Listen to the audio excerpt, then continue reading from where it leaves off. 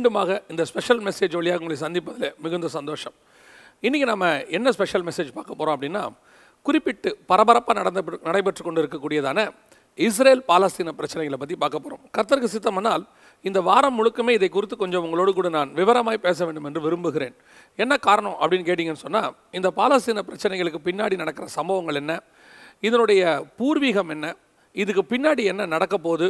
அப்படிங்கிறத பற்றி தான் நம்ம பார்க்க போகிறோம் இதெல்லாம் அலசி ஆராயறதுக்கு முன்னாடி இன்றைக்கி ஸ்பெஷல் மெசேஜில் பர்டிகுலராக இப்போ நடக்கிற ஒரு முக்கிய முக்கியமான விஷயத்தை உங்களோடு நான் பகிர்ந்து கொள்ள விரும்புகிறேன்.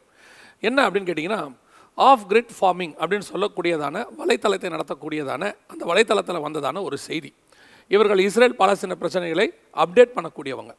இந்த செய்தியில் அவங்க குறிப்பாக ஒரு விஷயத்தை என்ன சொல்லியிருக்கிறாங்க அப்படின்னா இஸ்ரேல் இப்பொழுது மிக முக்கியமான ஒரு உத்தரவு போட்டிருக்கிறது. என்ன உத்தரவு அப்படின்னு சொல்லி நீங்கள் கேட்டிங்கன்னு சொன்னால் ஹமாஸ் லீடர்ஸ் அதாவது இப்போது பாலஸ்தீனர்களுக்கு அரசாட்சியில் இருக்கக்கூடியதான ஹமாஸ்.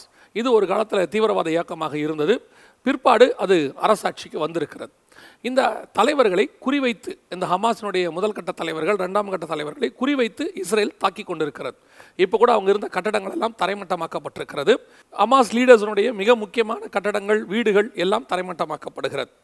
இதையும் தாண்டி இப்பொழுது இஸ்ரேல் சொல்லியிருக்கிற மிக முக்கியமான விஷயம் என்னவென்று சொன்னால் இந்த ஹமாஸ் லீடர்களுக்கு மறைமுகமாக உதவி செய்யக்கூடியதான நாடுகள் இருக்கிறது. குறிப்பாக சிரியா லெபனான் துருக்கி எல்லாவற்றுக்கும் மேலாக ஈரான் இப்படிப்பட்ட நாடுகள் இருக்குது இப்போது இஸ்ரேல் அந்த ஆஃப் கிரிட் அந்த வலைத்தளத்தில் வந்த செய்தி என்ன உங்களுக்கு சொல்கிறேன் அதில் என்ன சொல்லியிருக்கு அப்படின்னு கேட்டிங்கன்னா துருக்கி கத்தார் ஈரான் சிரியா மற்றும் மலேசியா இந்த நாடுகளில் இருக்கக்கூடிய ஹமாஸ் லீடர்களை கொலை செய்யும்படி அதாவது அது எங்கே இருந்தாலும் அவங்க செய்வாங்க. இதுக்கு முன்னாடி இப்படி ஒரு சம்பவம் நடந்துச்சு. எப்போன்னு கேட்டிங்கன்னா சில வருஷங்களுக்கு முன்பாக பிஎல்ஓ பாலஸ்டீனியன் லிபரேட்டேஷன் ஆர்கனைசேஷன் என்று சொல்வார்கள். அதாவது யாசர் அராஃபத் அவர் இருந்த கட்டடம் வரைக்கும் அந்த காம்பவுண்டு சேர் வரைக்கும் இடித்தாங்க அந்த அளவுக்கு இஸ்ரேல் ஊடுருவம். அப்படிப்பட்டதான இஸ்ரேல் இப்பொழுது இந்த ஹமாஸ் லீடர்ஸை குறி வச்சு தாக்க சொல்லி இருக்கிறாங்க இப்போ இருக்கிற ஹமாஸ் லீடர்ஸ் எல்லாம் பாலஸ்தீன எல்லைக்குள்ளே இருக்கிறாங்க. இவர்களை குறிவைத்து தாக்கும் போதே உலகத்தில் இப்போ மிகப்பெரிய அளவில் ரியாக்ஷன் இருக்குது ஒரு ஒரு பக்கம் ஒரு ஒருத்தராக உள்ளே வர தொடங்கி இருக்கிறாங்க. அதாவது சப்போர்ட்டுக்கு சிரியா ஒரு பக்கம் லெபனான் ஒரு பக்கம்.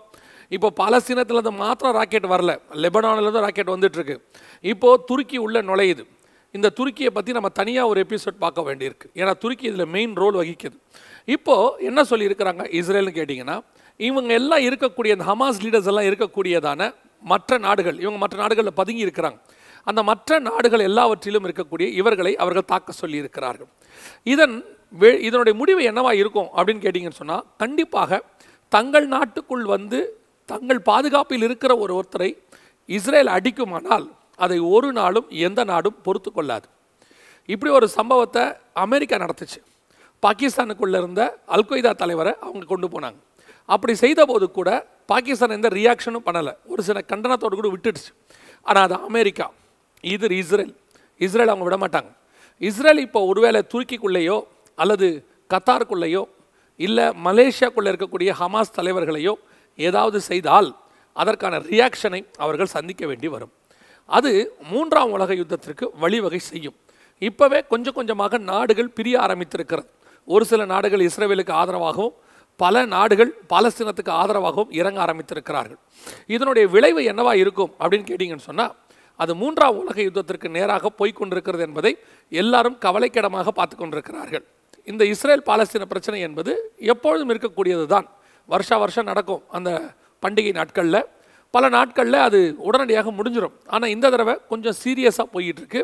ஏதோ ஒரு குறிப்பிட்ட காரணத்துக்காகத்தான் இது நடத்தப்படுகிறது என்று ரெண்டு நாட்டு பக்கத்தில் இருந்து பேசி கொண்டிருக்கிறார்கள். பல வருஷங்களுக்கு முன்பாக ஒலிம்பிக் போட்டியில் இஸ்ரேலுடைய வீரர்களை இந்த பிஎல்ஓவை சார்ந்தவர்கள் கொலை செய்து விட்டார்கள். அந்த கொலை செய்தவர்களை இஸ்ரேல் ஒவ்வொரு நாட்டுக்குள்ளேயும் அவர்கள் பதுங்கி கொண்டார்கள். இஸ்ரேல் ஐடிஎஃப் அதாவது இஸ்ரேல் டிஃபென்ஸ் ஃபோர்ஸ் என்று சொல்வார்கள். இவர்களுக்கு மூளையாக செயல்படக்கூடியது யார் என்று சொன்னால் அவர்களுக்கு மொசாட் என்று ஒன்று உண்டு. இந்த மொசாட் தான் உளவுத்துறை. இந்த மொசாட் உளவுத்துறை பிளாக் செப்டம்பர் முனிச் என்று சொல்வார்கள். அதாவது அங்கே கலந்து கொண்ட இஸ்ரேல் வீரர்களை அந்த பிஎல்ஓவை சார்ந்தவர்கள் கொலை செய்தார்கள். அந்த சம்பவத்தில் ஒவ்வொரு நாடாக போய் தேடி பிடித்து பல வருஷங்கள் கழித்து இஸ்ரேல் அத்தனை பேரையும் கொன்று குவித்தது. அப்படி ஒரு உத்தரவைத்தான் இப்பொழுது இஸ்ரவேல் போட்டிருக்கிறதாக இந்த வலைத்தளம் சொல்லுகிறது. ஒருவேளை இது இந்த பிளாக் செப்டம்பர் முடிச்சு என்பது கிட்டத்தட்ட ஒரு ஐம்பது வருஷத்துக்கு முன்பாக நடந்த சம்பவம். இப்போது அப்படி நடக்குமானால் இஸ்ரேலை மற்ற நாடுகள் விடாது. அது மூன்றாம் உலக யுத்தத்துக்கு வழிவகை செய்யும்.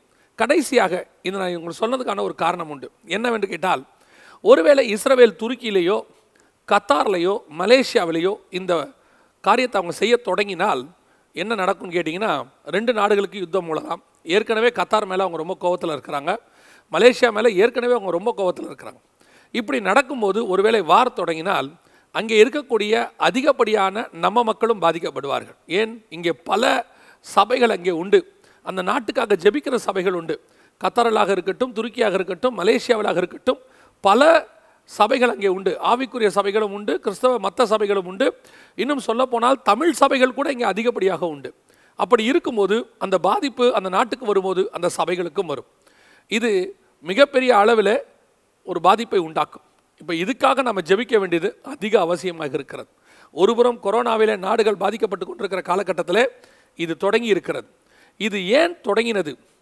இந்த இஸ்ரவேல் இந்த யுத்தம் ஹமாஸ் இந்த ரெண்டு மணி நேரத்துக்கு பிரச்சனை ஆரம்பிக்கிறதுக்கு கரெக்டாக ஒரு வாரத்துக்கு முன்னாடி ஈஜிப்டு சில மம்மிஸை தோண்டி எடுத்தாங்க.